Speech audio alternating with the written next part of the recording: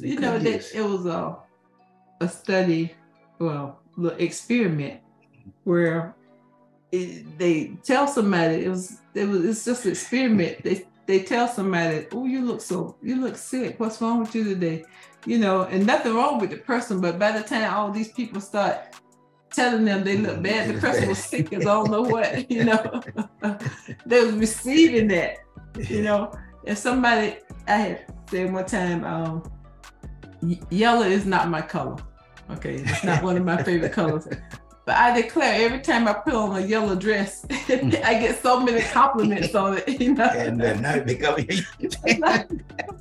so I want to compliment. I, I wore a yellow outfit one time to a wedding, and I didn't. I only got it because I couldn't find nothing else to wear. Yeah. I got so many compliments, and I didn't even like it.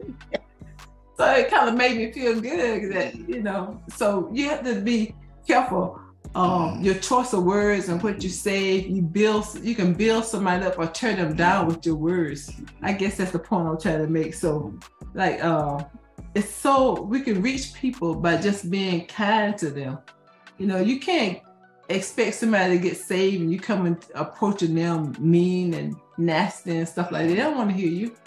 But if you be kind to people and just show them love, then you can gain them like that.